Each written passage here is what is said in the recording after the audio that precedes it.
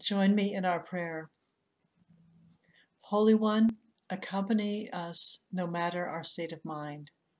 Meet us no matter the quality of our mood.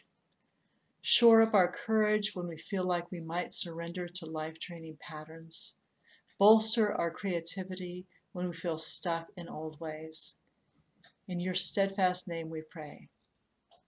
Amen.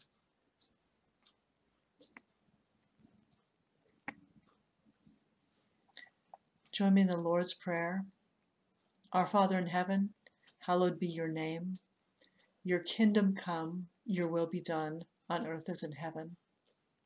Give us today our daily bread. Forgive us our sins as we forgive those who sin against us.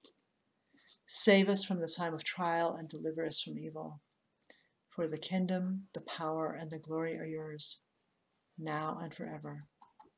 Amen.